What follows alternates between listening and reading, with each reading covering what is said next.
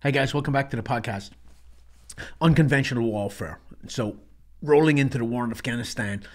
Um, the last time I talked about the Q course and all that, let me just back up a little bit because I got a lot of questions about Special Forces Selection and Assessment, SFAS. I was asked to go into more detail on it. Now, it was 20 years ago, so I don't remember that much. However, um, three week course, came back to Bragg from Germany to attend the course and uh, a guy I knew had gone through about six months ahead, so I had a little bit of intel on it. Um, they have this famous thing in, in, in selection where they say, don't be late, don't be last, and don't be light, meaning don't be late to the formation, don't be last on the event, and don't be light. If you're supposed to have 45 pound rucksack, put 50 pounds in there because they'll stop you periodically throughout the events and they'll weigh your ruck to make sure you're not light. And if you're light, you're done. Um, we we went out to obviously Camp Mackall. We stayed in these big billets, and um, it was not as hard as people make it out to be. Right now, people have heard me say this before. If I embellish my accomplishment, like oh my god, it was so hard, Hell Week, this whatever, then it makes me more of a badass. Whereas if you just apply yourself and you're in decent shape when you get there, special operations selection is not trying to fail everybody. They can't. The regiment would cease to exist. They're looking for people. They need people in the regiment. So they're not trying to get rid of everybody. They're trying to weed out people who quit and people who are there for the wrong reasons. And that's what it's designed to do. You can kind of deal with all kinds of personalities in special operations.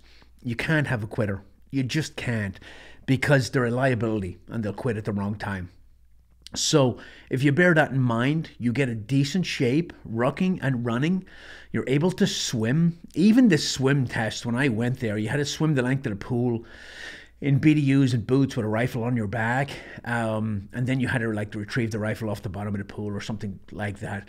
Um, when I went, it was a go or no go. If you couldn't swim, you you didn't get selected. Now, as far as I know, you can take the swim test and fail it. You can still go through selection and pass and get selected. And during the Q course, they will give you free swim lessons to teach you how to swim. You have to be able to swim by the time you graduate, right? So even if you just did your swim lessons during language school, that's four to six months. Um, there's no reason why you shouldn't swim, be able to swim with a rifle on your back and uniform. It's pretty important for all military, for all people really, to be able to swim. So we go out there. Um, they would start you on runs, and it's an undetermined distance, right? So they'll just say, "Hey, run this way until we tell you to stop." So it could be three miles, could be five miles, could be ten miles. You don't know. My philosophy was just stay in the middle of the pack. I just tried to stay in the middle of the pack, pace myself, and I figured if I'm in the middle, I'm okay. And that's what I did the whole time. Um, I remember doing the obstacle course out there at Camp Mackall, Nasty Nick, they call it. And there's some big, huge obstacles in that thing. And they don't, they teach you how to negotiate each obstacle and then they run you through it. And there's an instructor standing at each obstacle. And people would fall off this big 30, 40 foot tower and slam on the ground. And they'd be like, you know, out, not wind knocked out of them, laying there feeling sorry for themselves. And the cadre would come up and walk up to them and say, candidate, you failed to negotiate this obstacle. Do you wish to try again? and if you get up and did it again, you were good. And if you didn't, then you were gone, right? Um, so we went through tunnels with half filled with water to see if you were claustrophobic. Uh, a lot of rucking, a lot of running. Um, they they have you sitting around the bay and they write stuff on the board, which I think is now a big screen TV. But they had a whiteboard, and periodically they just write stuff on there like you know, five o'clock in the morning, 45 pound ruck without water and food, uh, whatever. And then people would check it periodically. I never checked the board once because there was a hundred paranoid people in the bay with me that would check it every 30 seconds. So I figured somebody will check it. I did not find it that bad. Um, we did a trek at the end, which was I think four or five navigation points we had to find over like a 40. I might be wrong on my, my numbers here over a 48 hour period, and um, you you could uh, you could go at your own pace, which was kind of cool, and you were on your own. And uh, I think somebody measured it at the end, it was like sixty kilometers or something like that. But you, when you have a rucksack on your back, you just get used to it. You become strong. Um, good navigation will save you from going through the draws and the nasty stuff. And I will say that navigation at Camp Mackall here in North Carolina is about 20 minutes out the road from where we are now is difficult because there's no not very distinguishable terrain. It's all woods, it's all pine trees, and the contour intervals like 10 feet, and the draws are particularly nasty. Um, because that, that they grow all year round and they're super thick and you can't walk roads and you can't cross on bridges. So we do run land navigation classes here. Um, Kevin Estela just got here, so he's going to run some and I'll run some. But we do pull the army guys aside at the end. Land nav's land nav. It's not military land nav, but and I'll, I'll run them through some some Camp Mackall tests on the one to fifty thousand map that the army used, and and, and kind of get them prepped and give them some advice. So, um, at the end when it was over, they separated us all and they said, okay, the following people go to that building and, and the rest, you know, stay where you are. And then people, they're calling out names and, and you're like, even though I knew I did fairly well or I thought I did fairly well, you just never know. And I have this uh, insecure part of me that was like, well, maybe I didn't make it, you know, and always uh, self doubt has been a huge problem of mine my whole life. But, um, and then you see guys getting called out to go to that building and you're like, man, he was strong and then you're like, oh, he was weak. I know he he he you know he he probably failed, but you don't know. And then you look around at who's left standing, and you're like, okay, I know he's strong and he's strong and he's strong. Don't know that guy, wherever. And then they brought us all into a building and said, okay, you guys passed, and here's what we're going to do now. So at that point, we started filling out security clearances, which I was not prepared for. And you have to get a secret clearance right off the bat. Um, later on, I got a top secret clearance getting a top secret clearance with having been born in a foreign country, served in a foreign army, had a foreign wife. Um, not great. I had a foreign wife who overstayed her visa. I overstayed my visa. Uh, and having 14 brothers and sisters, not great, right? So I had to sit there and try to remember I remember names, obviously, brothers and sisters, but dates of birth, no clue. Addresses, absolutely no clue. And I started digging and digging and digging, and I gave them as much as I could, but it was completely inefficient and and uh, incomplete. So did my security clearance, and then I had to go back to Germany for a couple of months, and um, until I got a, a, a, Q course date later in the year in, in, in 2000. So basically, if you're thinking of going, you can go to selection now. You can go to SF straight off the street, right? You go through basic training. You sign up as an 11 Bravo, which is an infantryman. You have to be, I think, 20 and there, there are other parameters. You need a certain GT score, obviously, but you can go in, go basic training AIT, Advanced Training, Airborne School, and then you come to Fort Bragg. And then you go through SOP C1, which is Special Operations Preparation Course, which I think is like five weeks long. So you're doing a five week course that prepares you for a three week selection course. And the, the, the graduation rate for 18 X-rays, which is this program right off the street, is very, very high. It's later on the Q course to get in trouble. Um, but you would go through that SOP-C program. Then you'd go to selection. Once you're done with selection, you would go to what's called basic leadership training, basic leadership course, which was called the Warrior Leader course when I was the first sergeant in charge of that course. And then when you do all that, you go through the Q course. Okay. I did not do that right. I was already in the infantry for six years. I was a staff sergeant, so I was very, very um, experienced. And I, but I went when I was 35. And people think you're too old. I think you're in your prime in your 30s. Men and women, I think you're in your prime. I think physically, you know how to work out, you know how to eat properly, and you know how to not be stupid and get an injury. Um, so people will DM me or email me every now and again and be like, I'm 30 and I want to do this and I don't know if I'm too old. And I'm like, if you don't do it now, you're going to regret it when you're 50. So better to just bite the bullet and do it. And the only obstacle, age is just a number. The only obstacle you're putting in, you're putting those obstacles yourself. And I'll say, you're not too old. You can do it. And they'll say, well, I have this going on or this. And I'll be like, you're making excuses now. Um, either just go or don't go, but make that decision and live with it. Don't be looking back.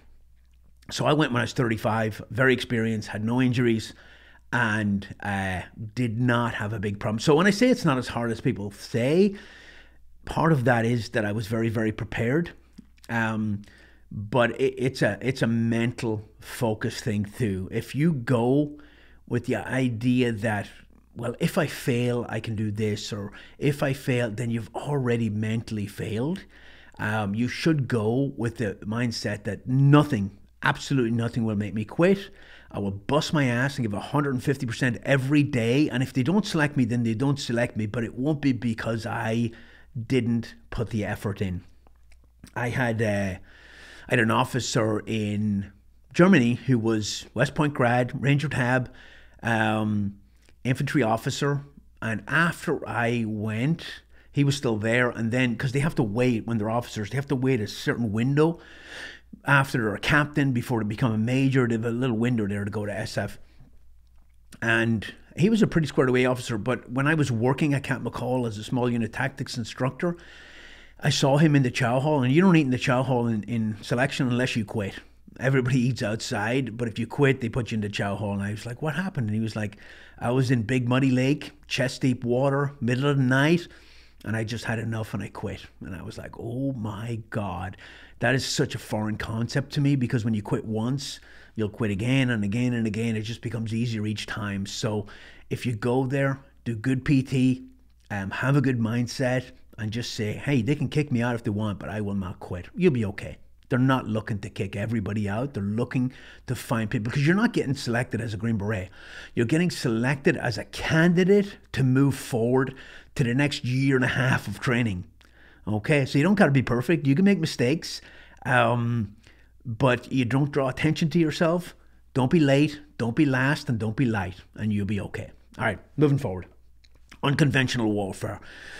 So basically, all warfare since World War II has been unconventional, pretty much. Hasn't been a big. I guess the Gulf War was maybe sort of a uh, conventional war, and maybe the initial invasion of Iraq, but it all kind of evolves into this unconventional counterinsurgency type war. So, Afghanistan, um, the invasion of Afghanistan happened very quickly after 9 11 because it was a terrorist training camp. Now we can look at this hindsight being 2020. Obviously, huge mistakes were made in Afghanistan. And 20 years later, we pull out, we leave them billions of dollars worth of equipment and better off. Now, we killed a lot of them, but they're in it for the long war. They are willing to take those hits, and the American military and the American public are not. Um, some of these things are hindsight looking back, but some of them I spotted early on in the war, and, and I'll elaborate on that uh, a little later. So, once we got out of Camp Mackall on that on that detail we were on, we got our gear and we headed to uh, Afghanistan. Uh, flew into Kandahar initially I got stuck in Kandahar. The team I was going to in third group were in Orgun-E, which the, the, the launch base for that is Bagram, which is up north. The um, so I spent a couple of days in Kandahar sitting on my ass, getting crazy, uh, trying to get a flight up to Bagram. End up getting a flight to um, Uzbekistan and then taking a flight back down. I remember talking to some PJs in Uzbekistan. Excuse me So the pararescue guys in the Air Force are the ones who fly in in helicopters and, you know, provide medical, and they're phenomenally trained, but they sit on their ass most of the time, and that's just a fact. A lot of times they were bored to tears sitting in Uzbekistan waiting for the 911 call. Um, and I was like, man, all that training to do that, crazy. So if you're going to go on a pipeline, just just take a good look at everything that pipeline does it's funny because before 9 11, everybody had very, very specific uh, objectives in special operations, right? Ranger Regiment, strike force for the infantry, right? Delta Force, hostage rescue, um, SEALs, maritime, uh, SF, unconventional warfare.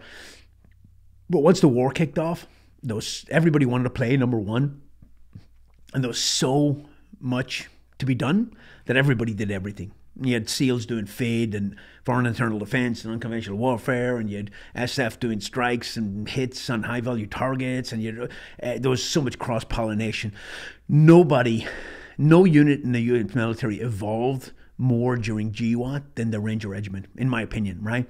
Ranger Regiment started as a very, very, they started at GWOT as a very high and tight elite infantry unit, uh, which, and they've evolved now in, into a, a top tier special operations strike force.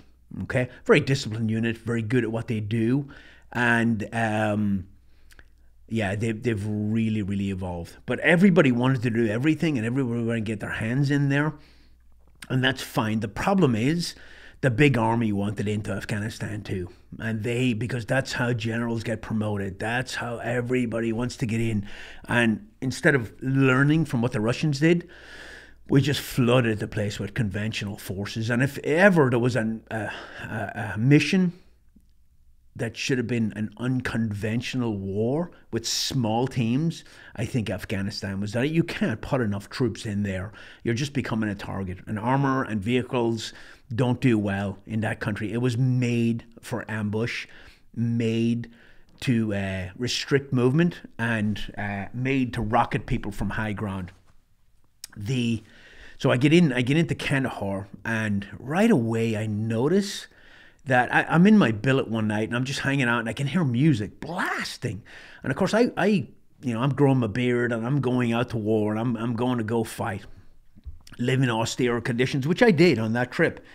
But I can hear music in Kandahar and I'm like, what the hell is that? And I walk towards the fence inside the little special operations base and I look across the, the road and there's an Air Force base. I think it was Air Force Base.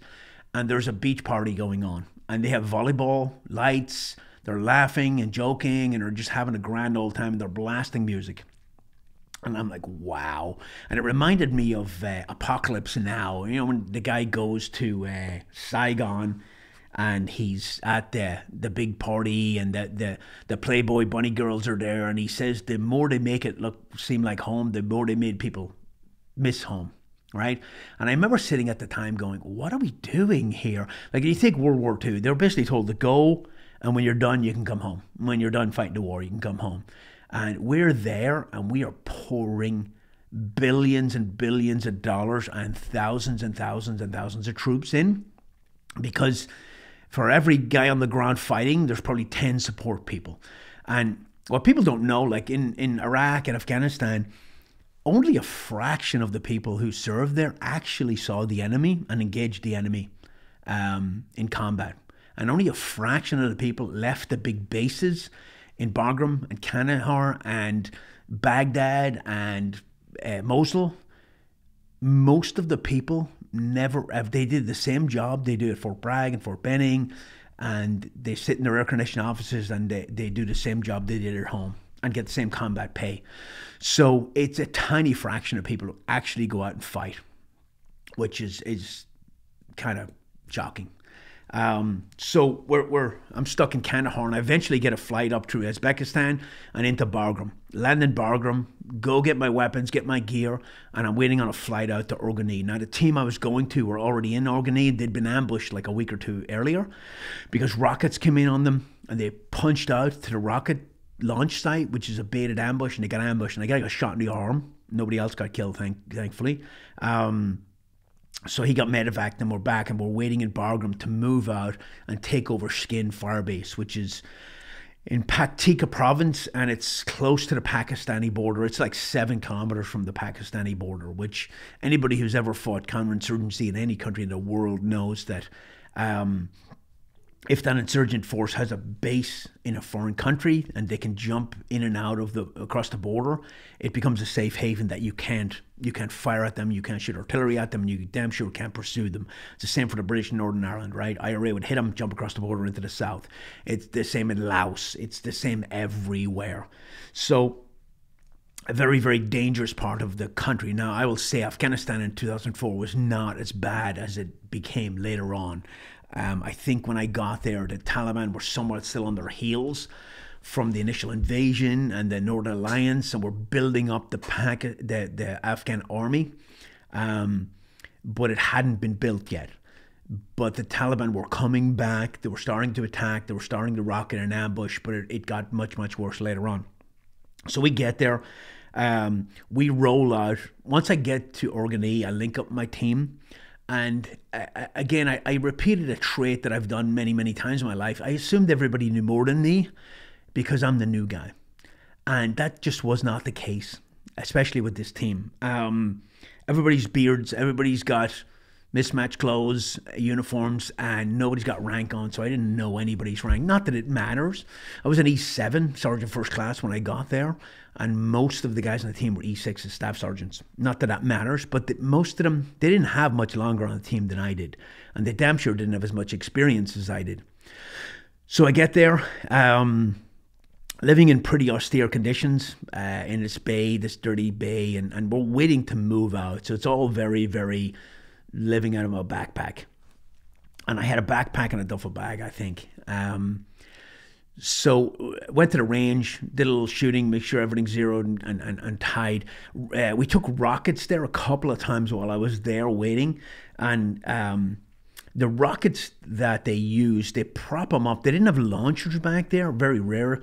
Um, and they would prop artillery shells up on the, a mountain and point it in your general direction and fire it off with a timing device and launch it and, and pretty inaccurate but that made them really dangerous because you don't know where to, to, take cover, right? I take cover behind this wall, it's just as likely to hit me as I take cover over there, right? And they come screaming in, and, and smaller bases didn't have any defense on them. Bagram had these phalanx guns that have Gatling guns, and they launch rounds that didn't come. It's all computerized and everything.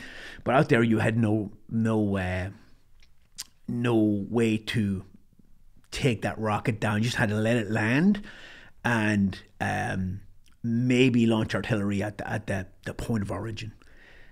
Or, or maneuver to it, but maneuvering to it is very dangerous because it's a bait. It can be a baited ambush. So we, we took rockets, and uh, as we prepped and we got our stuff ready. Now, when we rolled from Orgun-E out to Shkin. I think it was a two or th- three day drive, maybe two days, and we, we had a convoy. Our trucks back then had no armor. They had, uh, I think one of them had a chicken plate, which is the armor in front of the 50 cal, and one didn't, and then it had no doors, and it was light skinned. Because it's a balance. It's the ground mobility vehicles designed to be able to climb mountains and get off roads and stuff like that. The problem is you're super channelized in Afghanistan, and a lot of times there are no roads. You're driving in a riverbed, and um, the worst thing you want to do when you're being ambushed or IDs or attacked by an insurgent force is become predictable, but you have no choice. There's one way into some places and one way out, and that's what you deal with, unless you get a helicopter. So as we rolled out there, very aware that uh, super vulnerable. I was driving one of the Humvees on that trip, and we stopped, and we had these big jingle trucks which broke down periodically, and we had to get them all, you know, rigged up, and we had some Indige with us. Now, the Afghan army was very, very new there. We did not work with the Afghan army. We worked with militia, basically, called the ASF, Afghan Security Forces, and they were basically just militia guys who didn't like the Taliban and wanted a better life and came and joined us. So we had a guy called Aziz who became the commander of all Afghan forces 10 years later when I was there again. Um, but, but back then he had like a dozen men, maybe, maybe, maybe 10 with him. So you're talking about six SF guys and maybe 10 Afghans rolling out in this convoy out to Shkin. We had uh, what's called um, Special Operations something, uh, something. They're, they're signal intercept guys who can intercept uh, phone calls and push to talk radios in real time. And that you'd get chatter as you rolled out there.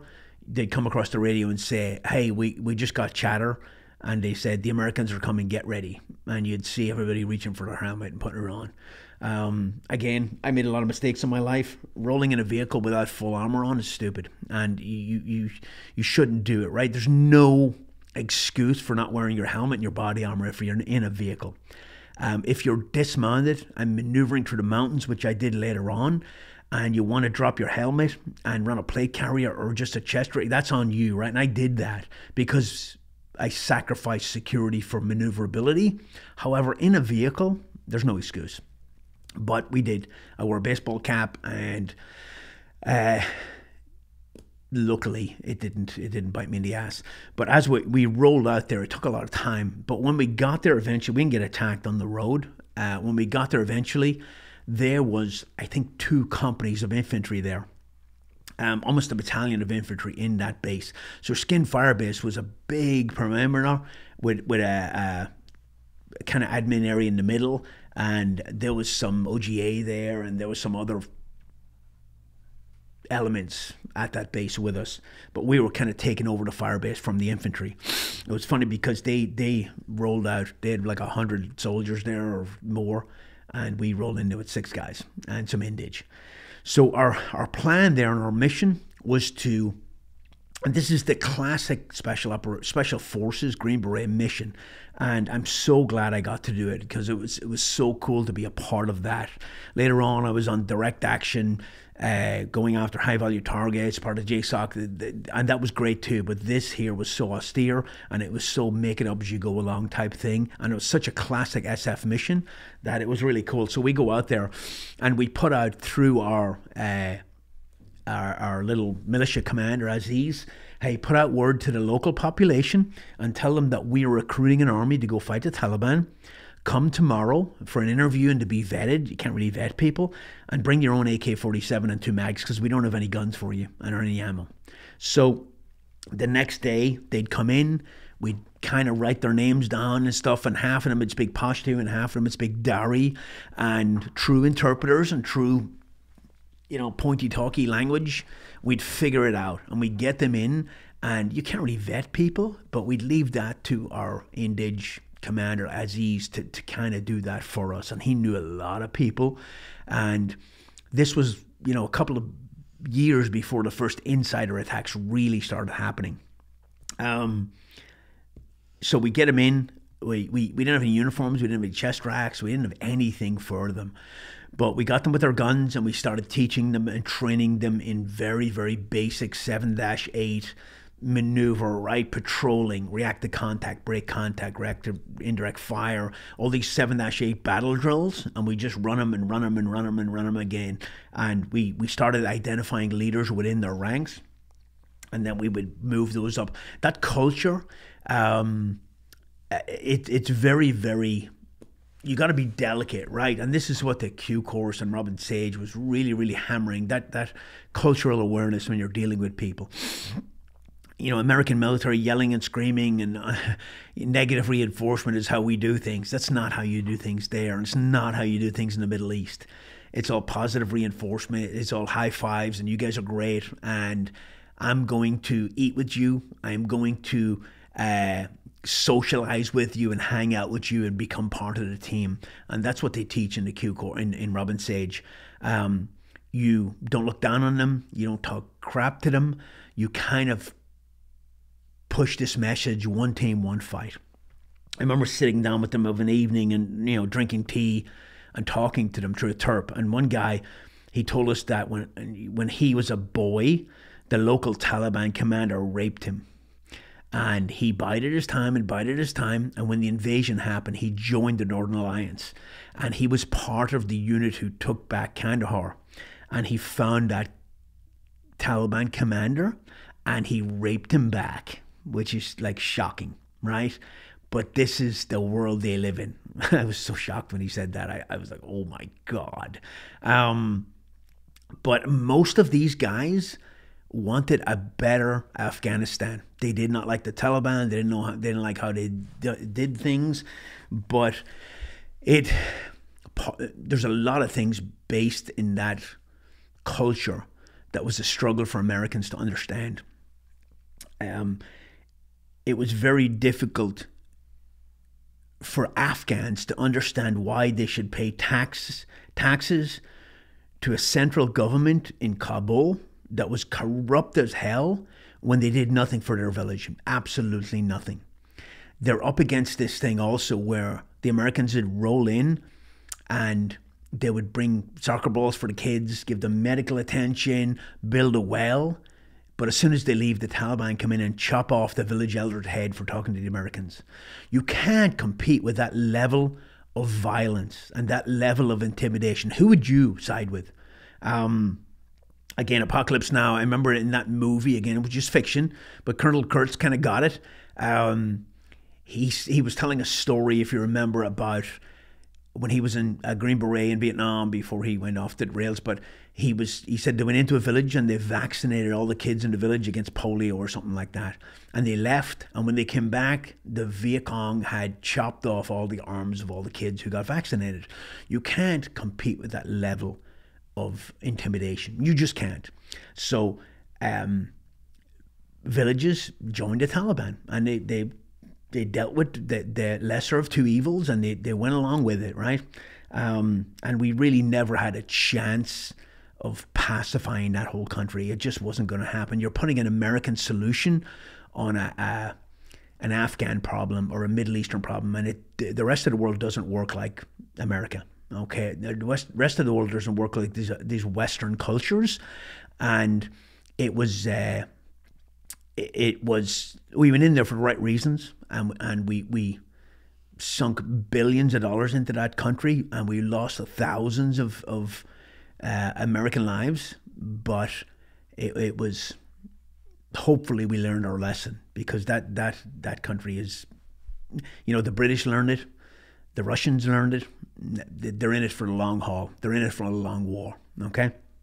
So we go in and we, we start standing up this army and we started identifying leaders, doing battle drills and training and training and training. And when we got them to a very base level, we would hit what's called a, a confidence target. So we'd find a, a, bad guy in a fairly easy to get to location and we'd go hit that target.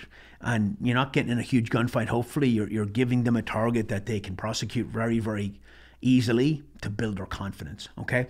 At this point, we're also gathering all our own intelligence and building our own packets to um, hit targets, roll up bad guys, take their equipment, redistribute it to our Afghans, um, hit more tar- get the intel, hit more targets, get the intel, hit more targets, and we start building up. And an SF 12 man ODA can build up a battalion of indigenous forces, and that's a battalion of Americans that don't need boots on the ground. And that's the whole point. Build them up and teach them how to fight their own war. Okay?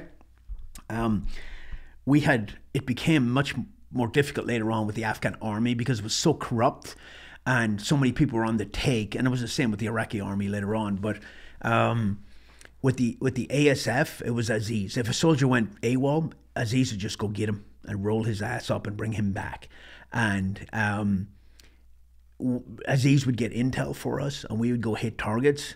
And we hit a target, and we found four RPD uh, Soviet machine guns older Soviet machine, awesome, awesome guns, but they shoot the same round as the, the AK-47, 762 by 39. But they were they'd been sitting in water and they're completely seized and rusted. So myself and the other 18 Bravo, we worked on those things for days. We soaked them in diesel and oil, and then we beat the actions apart, and then we disassembled them and scrubbed them, and then reassembled them uh, zeroed them and painted them, and they were awesome when we were done. And that's what 18 Bravos do, right? That that's the core 18 Bravo mission. And then we issued them to our Indij. Um, we hit targets and found caches of uh, RPGs, and we give them to our Indij. Um, we end up buying uniforms, desert uniforms, and I have a picture on my Instagram. But um, and we we issued them to our Indij, and we built them up. I have a picture of me teaching them the RPD as well. And you're talking about guys who don't have a lot of training. They've been around guns, but they're super unsafe. So you're trying to drill that safety into them. Um, and, and kind of build their confidence. And then you go hit a target, and I'm not, we're not expecting perfection hit the target, shoot the bad guys, don't shoot me. Anything else is a bonus. I'm not looking to train you to a high level because I'm probably going to have to come back and fight you at one point. So I'm training you to a base level. I'm getting you to a point where you can do this job yourself and I can go home. That's the whole point. And some people just didn't get that. Um, when I got there, there was a guy on that team who was leaving soon in a couple of weeks. And I straight off, you know, I always tell people pay attention to to the the vibe you get from people. I got a bad vibe from this guy. I actually made a, a, a CD to send my wife, and it was like just basically me talking like this. And I said I found it there a while ago, and I, I said on it, um, I'm not going to send this home. There's a guy leaving next week. I'm not going to send it with him because I don't trust him. And I'll send it with another guy in a, in a couple of weeks, right? So this guy, I went back to uh, I'm back to Bagram with this guy, and we we had a couple of funds in Afghanistan and Iraq. You had an operational fund, and that was for like I'm in a very austere base in the middle of nowhere. I'm going out on on you know long range reconnaissance patrols for a week and living off the vehicle and all that, and they give you money, dollars. To build buildings, to grab, put gravel on roads, to build some sort of infrastructure in this very austere base. Now, the problem is that there's no accountability for that money. And sometimes you can get a receipt from a guy who uh, may or may not even be able to write. All right. So it, it's sometimes you give that money to guys who are risk takers and they take a risk that way. So you had that, and you had other funds that bought you food and stuff like that, eh, fresh food. And but I was sent back to Bagram with this other guy to draw this uh, class one fund, and he was drawing the up fund. And he said to me, "Hey, there's no point in you coming back to clear this fund every month. I'll just draw both of them." And I was like, okay, sounds good to me. I went back, the team sergeant was like, damn, I didn't want that. I don't trust this guy. I wanted you to do I'm like, you didn't tell me that. Um, excuse me. So basically, I remember we were back in Bagram and we were going through the, the, the, company and we met with the supply sergeant and he got because he was the 18 Charlie, right? He was responsible for our gear. He got a bunch of gear off the uh, off the supply sergeant, and he signed a hand receipt. And I watched him, and he signed the wrong name. I was like, oh god.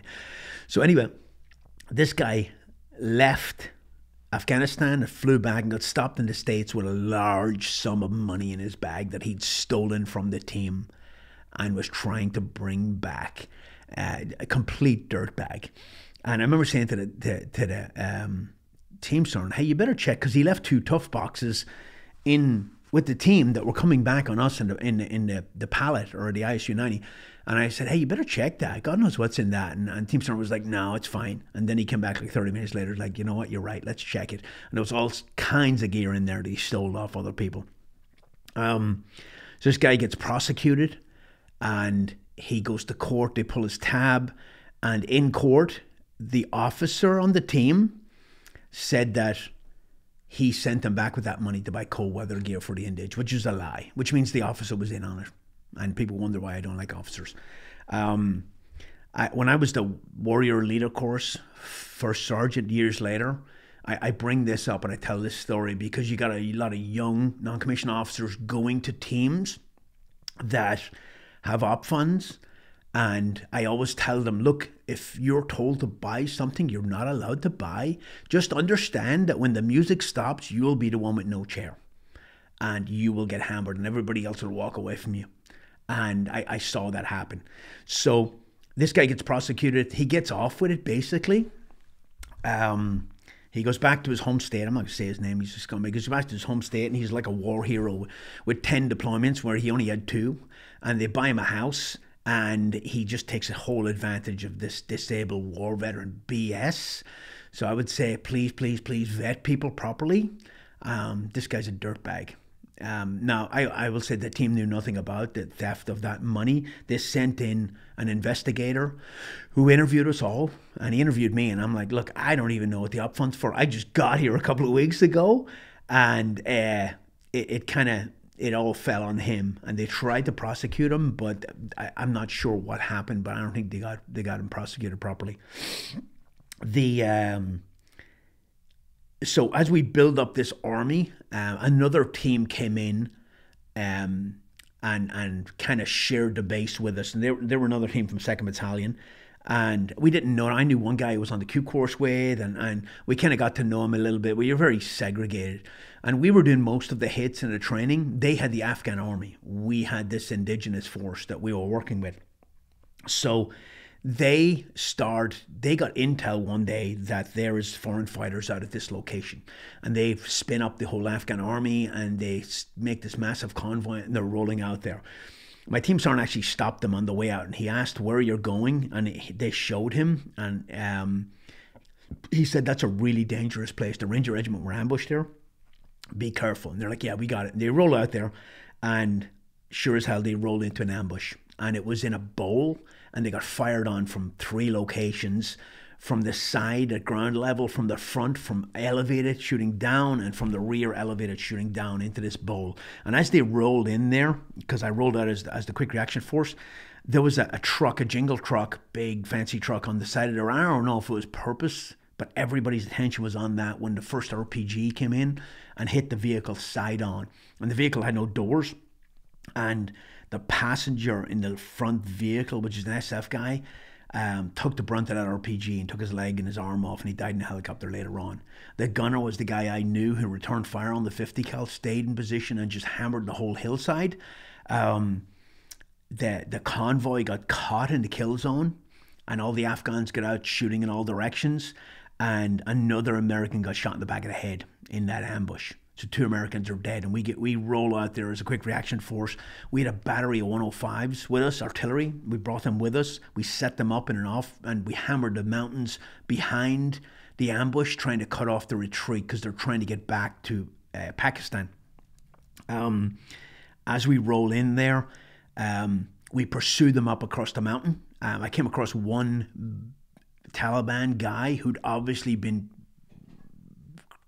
killed by the black blast of one of their own RPGs. He was obviously standing behind the RPG when it was fired. Um, as we pursued them across the mountain, what they do is if they can't make it to Pakistan, they'll just go into a village, they'll hide their weapons, they'll pick up farming tools, and they'll start farming. Now we roll in, we find all military age maids, males, we flex cuff them, we gunshot residue test their hands, and they come up positive for firing weapons. Then what do you do?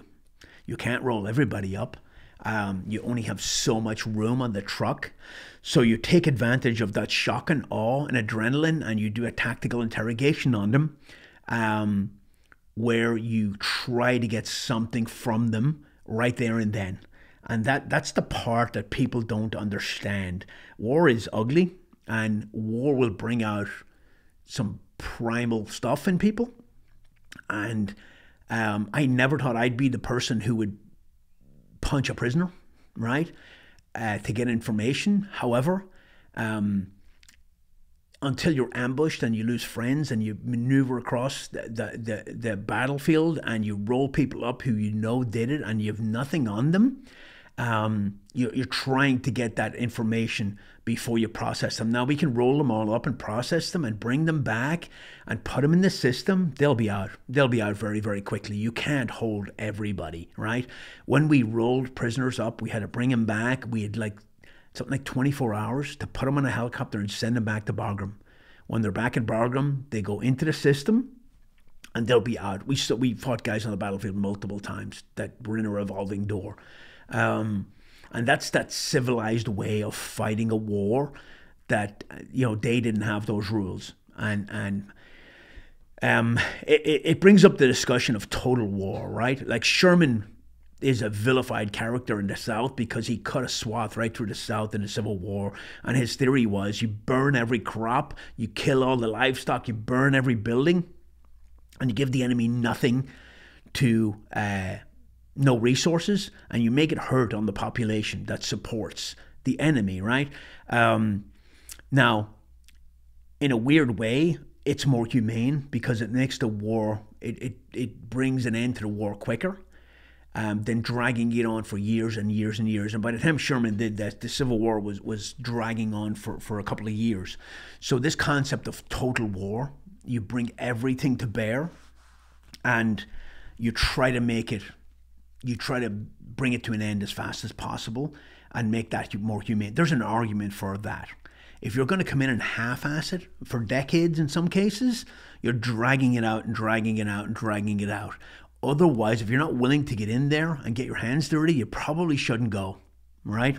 Um, the, there's a book called Devil's Guard, and it was there, there's a lot of theories whether it's fiction or whether it's partly true or totally true, but it's about a guy who runs into uh, basically World War II Nazi in uh, Indochina somewhere in, in Vietnam. So uh, basically, the, the the book documents these German units that were rolled up and, and, and imprisoned after World War II in France. And instead of just letting them rot in prison, they put them in uniform and sent them over in the French Foreign Legion to Indochina to fight the Viet Minh early on in the 50s, before Dien Bien Phu, obviously. And these guys go in and wholesale slaughter the enemy. Like, uh, and I'm not advocating that, I'm just saying that that book on unconventional warfare and counterinsurgency is kind of where you need to be or don't go at all. And if you're not committed to doing what has to be done, then you shouldn't be going to war and, and putting people into a meat grinder. The rules of engagement in Afghanistan when I was there early on were actually quite good. As the Obama administration came in, they got really, really strict. They got to a point where you could not return fire if you were fired at from a structure because there might be civilians in that structure, right? To me, the enemy chose to use that structure. That's on them but you couldn't. So the enemy would start ambushing and shooting on American troops from these derelict buildings that nobody lived on, and nobody could. You couldn't even return small arms, never mind drop a bomb on them. Um, so trying to fight a war like that with one hand tied behind your back is ridiculous. Now the, the ROE, the rule of engagement in Afghanistan, were very very good, and then they got really really bad and restrictive, and then they kind of settled out later on into something fairly reasonable and we, we perfected later on. We perfected the drone strike in, in, in Afghanistan, but there's there's I'll get to that later on. But there's a lot of arguments as to whether shooting a hundred thousand dollar missile at a guy on a motorcycle is a good use of taxpayers' money. Um, so early on, it became very ob- obvious that fighting fighting a counterinsurgency war is difficult, right? Especially when the enemy can jump back across the border and you can't uh, get to them. We got rocketed from Pakistan all the time and we could not return fire. We had a, a FLIR system on a massive pole. We had a day camera and a night camera, uh, a thermal camera, and we could see for miles in all directions. And I could shoot a laser from the operations center that would give me a 10 digit grid of where the laser was shooting, where the crosshairs were. So, so I could drop super accurate artillery. I can't shoot into Pakistan, right? Um, so it became very, very difficult. Our as we built up our base in, in Shkin Firebase, we uh, we sent our Indige, our ASF, and they're all civilian clothes. They went across the border into Pakistan to buy stuff fairly regularly, which in hindsight, building up a pattern, right? They they were going across the border one time, and our signal intercept guys could pick up chatter and it was a countdown five, four, three, two, one, and it was from the Pakistani army. And it was a countdown to detonate an IED, which shredded a couple of our vehicles. It killed a couple of guys. We rolled out there. We, we medevaced them. The second in command of our ASF force was hit pretty hard. Our medics went to work on him and saved his life. But in hindsight, they would have been better off to let him die because he came back like three months later looking for money and he was missing an eye, missing an arm, and missing a leg, and he was in bad shape. And that's not the country to be disabled like that. Um, and there was no mechanism to pay this guy. It just wasn't there. Um, we, we didn't have the money. We, we couldn't pay him. So it, it was pretty sad to see. The um, so as we built up this army and hit targets and hit targets and hit targets, uh, the rockets started getting more and more accurate. And once we left, there was the other team that was on the base with us. Um, one of those guys came back four months later to do a pre deployment site survey for their next rotation. And as the helicopter landed, he was getting off, rockets come in and hit the helicopter. And I think they, they injured him or they might have killed him, but um, that's how quickly it evolved because the team that took over from us did not push out and clear the white space around the base. They kind of hunkered down, and generally things get quiet in the winter, but they, they let the enemy give them free movement to set up better launch sites, and that's why the the, the launch points were more accurate. Um, I learned a lot on that, even though I was very experienced when I started, but I learned a lot about setting up Firebase operations um, setting up sectors of fire, you know, spacing on ammunition dumps throughout the camp so one rocket doesn't take out the whole freaking ammo dump. Um, uh, base defense plan. I wrote the base defense plan for that. Um, in hindsight, I should have rehearsed it and rehearsed it and rehearsed it. Um, there was a, a, a, dry riverbed that ran all the way to Pakistan, right up to our fence, basically. Um, luckily, we had um, some early warning stuff out there, but that was always a concern to me. And then we had infiltrators inside gathering intelligence. I was up on the roof one day with a sniper rifle, a pair of binos, because every time we'd leave, that we pick pick up chatter that would say the Americans are leaving three vehicles, right? The Americans are leaving this and that. Um, so they had intel watching everything we did. So I was up on the roof one time with a sniper rifle trying to find this guy. And uh, they came down and said, There's chatter. Uh, they said the Americans have snipers watching for us. And it was, I, I couldn't spot that guy. Um, absolutely fantastic trip. One of the best trips I ever did, but very, very austere. We'd go out on these long range patrol, we'd be gone for days, we'd be sleeping on the trucks, we'd be very vulnerable. We'd roll into these very remote villages who thought we were Russians. And sometimes they thought they were in Pakistan. They didn't even know what country they were in. Very channelized, driving on riverbeds, uh, hoping you don't hit an IED. We drove into a village one time and I was driving the lead vehicle and we pulled in and we were talking to the village elder and he said, Oh, did you guys see the, the bomb on the road out there? And we're like, That road that we just drove in? And we went back and it turns out there was something like nine artillery shells buried under the road that we drove right over the top. And the firing device was in uh, low ground and it had rained the night before and the firing device got wet and it misfired. And we would have been blown to pieces. Um, we called the OD, explosive ordnance from the army, and they came in, and the guy was screwing around, screwing around, screwing around, and it was taking forever. And Aziz, our commander, just got impatient, and he grabbed the dead cord, walked down there, tied it into the line, and blew the charge. Um, he was like, "This is this is ridiculous," and that this that was Aziz's personality. We sent him out one time. He uh, we got intel that there was a weapons cache at a certain point, and they kind of showed us on the map. But in order to send up the CONOP, um, like the five Ws up the headquarters to tell them what we're doing, they we needed a grid. So our team sergeant sent Aziz out with a GPS, said just go near and get a 10 digit grid and come back. Don't touch it, don't do anything, could be booby trapped. And Aziz rolled out there with a pickup truck, him and one other guy, and he came back with all the stuff in the back of the truck. He was like, I just picked it all up while I was there. and uh, this is what he did. Um, another time we were driving and an IED went off between two of our vehicles because the, the it was uh, command detonated and it, they timed it wrong. Um, so uh, the great trip, very very educational and and great to be able to um, do that very austere, very traditional special forces mission. Um, 52. When we came back, we got relieved by the other two other teams and we drove all the way back. Um, when, when that team lost two people, they stood them down. I never really liked when people would stand down a team because they lost some guys. I think it's bad. I think you get back on the horse and you get back out there and you fight the enemy and you you you go get some payback. But um, they stood them down for a little bit. We took up, up their operations. We did a lot of hits. Um, and we really were making a difference in that area. Um, once we left, we drove all the way back um, through Kabul, all the way back to, to Bagram, laid out all our stuff, got it searched by the military police, and then we flew back. We stopped in Germany for, for a couple hours, and I'll finish this up on, on a funny story. We stopped in Germany, and we all went. We're on, on a Ramstein, a Rhine-Main Air Force Base, and we're, we're, we're there for like six or eight hours waiting to get on a plane back home. And we're going to go home, obviously.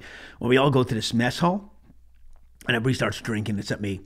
And everybody gets hammered, except me. And uh, there's young soldiers there, and a fight starts over stupid stuff. I don't know why. And the MPs come, the Air Force, SF, or whatever they call them in the, in the Air Force, they come and they are I start talking to them. I'm like, look, you're dealing with soldiers here, been deployed for six months, no alcohol. Not true. They had alcohol, but um, no alcohol and the low tolerance, and we just want to go home. And my junior Bravo, um, he like took a swing at a guy. So they're gonna arrest him and I'm trying to talk them down and said, here's what we'll do, we'll bring him back and we'll breathalyze him. And we'll see. So we go back to the MP station and the breathalyzer's not working. So they're like, hey, we're just to observe him for like 30 minutes. And if he doesn't act up or seem violent or belligerent, we let him go. And I'm like, sit your ass down there and don't make a sound because I'm going home tonight. Uh, we're not playing this game. And I go out and I'm talking to the MPs. I'm trying to build rapport. And I look back into the room they have him in, observing him and uh, you know McGruff the dog take a bite out of crime. They had a costume in there, probably for kids things or something, right? And I look back into the room and he's got the head of McGruff the dog on, and he's just sitting there looking around, and it was really funny. But at the time, I was like, "Take that off, you jackass!" Um, yeah. So we end up getting on the plane, and uh, I don't think he came out in the blotter for that, but we got home. Um, just lastly on awards, at the end of that trip, I got a Bronze Star, which is just a service award for a combat zone. Um, the other 18 Bravo on my team got an ARCOM, an Army Commendation, which is not the award you should be getting for combat and for actually living austere and fighting the enemy and getting in gunfights and getting shot at and getting blown up. An ARCOM is a slap in the face and it's purely tied to rank. He was a staff sergeant, I was a sergeant first class. He'd actually been in country longer than me because I got there, he was already there.